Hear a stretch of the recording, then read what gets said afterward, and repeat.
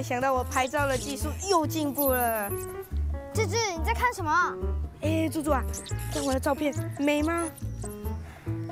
诶，马马虎虎喽。嗯，你根本就不会欣赏什么是美啊。不是我不懂得欣赏什么是美，只是你拍的照片太普通了。哎，芝芝，你为什么要拍那么多花草树木？哦，我要参加摄影比赛，所以就来这里拍一些大自然的照片喽。那你在这里慢慢拍，让我去找蜘蛛网。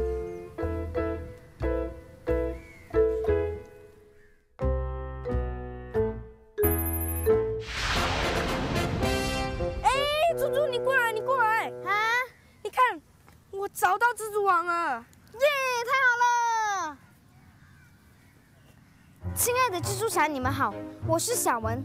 我爷爷用的相机非常特别，爷爷说那是传统相机。什么是传统相机呢？传统相机，传传统的爷爷爷用的，诶，应该是很古老很旧的相机喽。哎，芝芝，让我看看，你这部是什么相机？啊，这就是本年度最时尚、最流行、最多功能、最受欢迎的数码相机。那数码相机跟传统相机有什么分别呢？我我也不知道嘞，我没有看过传统相机。不，我们去找专家吧。走，对对对对，我还要拍照。嗨，没有对焦到。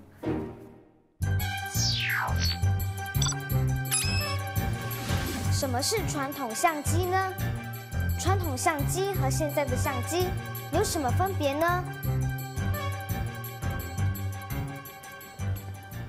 哎，芝芝，你看那里有个人在拍照哎，不知道他是不是我们要找的 Mr. Kim？去问问看就知道了。走。走。嗨，你好，我是猪猪，我是芝芝，嗨，我们是蜘蛛侠。哎，蜘蛛侠，你们好。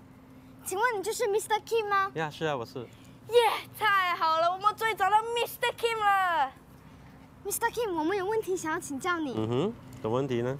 我们想知道什么是传统相机呢？嗯，还有还有，传统的相机和我们现在用的数码相机有什么差别呢？哦，别急别急，我再解释给你们听啊，嗯。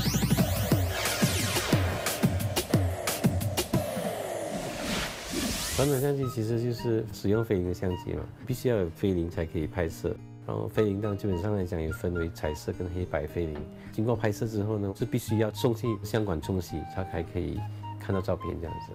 数码相机跟这个传统相机的差别，其实就是，呃，数码相机它不需要用菲林嘛，它只是用一个感应器，然后还有记忆卡就可以将照片储存起来。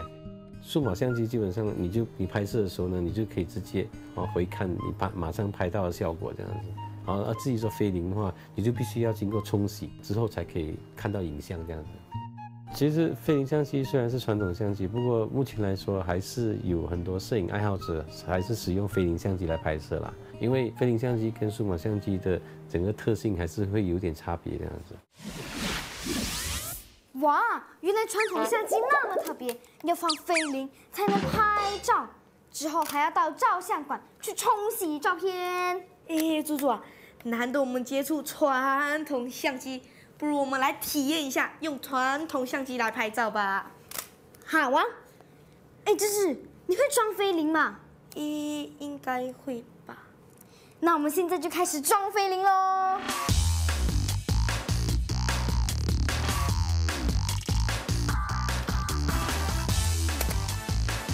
耶，终于装好了，叔叔，你过去那边站。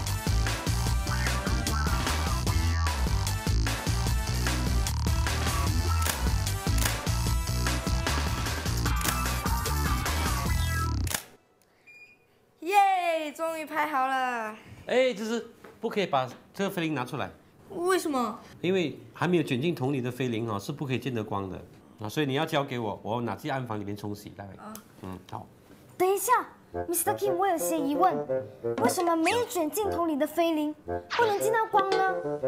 还有还有，什么是暗房呢？菲林里边呢，它的感光乳剂哈，它对对光很敏感的，所以它是不可以见到光线的。一它一见光线，马上就会曝光嘛，曝光的话哈，你就会看不到那个照片这样子。所以呢，我们必须在拍摄的时候呢，就是你在相机里边卷入菲林筒，然后呢，再再带到暗房里边呢，哈，在全暗的情况下冲洗，才能把它呈现出来这样。暗房是一个哈，就是全暗的房间，或者是开这个红灯的一个空间，啊，冲洗菲林或者是照片啊，都是在里边进行这样子。一般暗房的温度啊，都维持在呃摄氏二十度左右。哦，原来要先把菲林卷好才可以拿出来，不然菲林见到光就曝光，就洗不出照片来了。幸亏刚刚 Mr. Kim 及时阻止你把菲林拿出来，不然我的美丽照片全部都给你毁了。啊，幸好幸好。哎，对了，我突然想到一个问题。当菲林被放进冲洗罐之后，照片要怎样被冲洗出来呢？你这个问题嘛，我也非常好奇，可是我要去先填饱肚子，才找答案。喂，你这个贪吃鬼，等等我啊！啊，吃饱了，好满足啊！哎，猪猪，这饮料很好喝嘞，你要不要？我不要。哎，到底是为什么呢？小小的罐子要怎样冲洗照片？是用水洗吗？哎，猪猪，你想到了没？怎么用菲林洗照片？啊，有还没有想到啦？难道你就有答案了？诶，我也不知道啦。哎，这样我们两个都不知道，不如我们去找专家吧。等等，让我先把这瓶饮料喝完，我们再去找他。哈，又要等你？哎，我已经等你很久了嘞。哎呦，看还是不要等你，我先去找专家好了。嗯嗯嗯。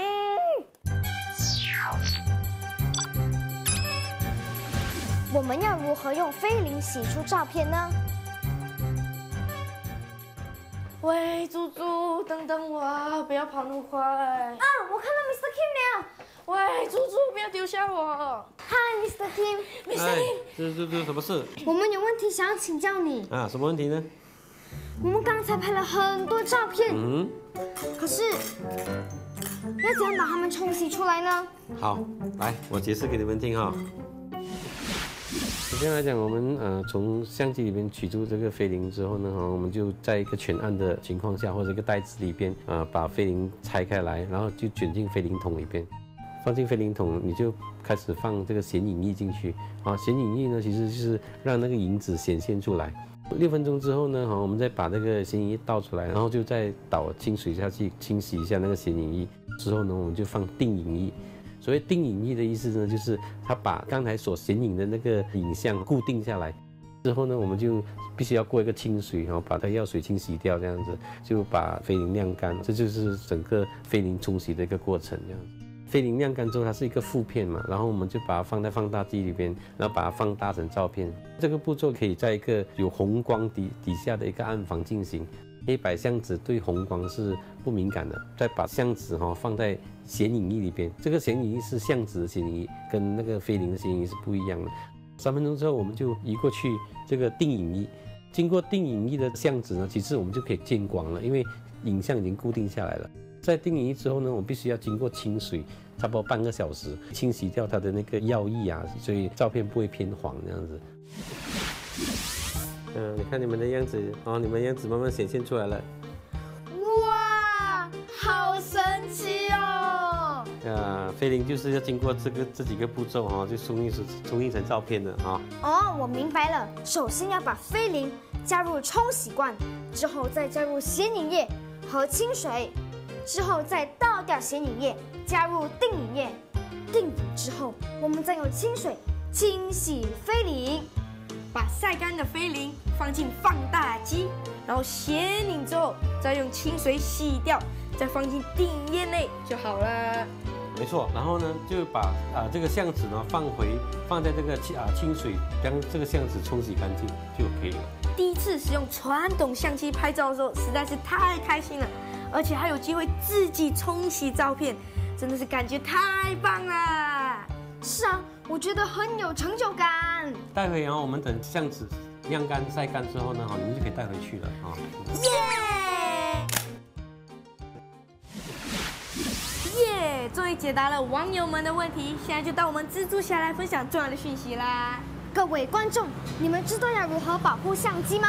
我知道，我知道，在使用相机的时候，记得要避免相机受到挤压，否则相机的机身还有快门就会受到变形。还有还有，千万不要对着镜头说话或吹气，更不要用手触摸镜头哦，因为这样会导致镜头的表面受损。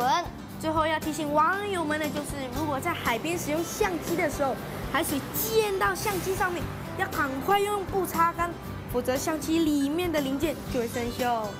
好了，今天的重要讯息就分享完毕，我们下一集再见吧，拜拜。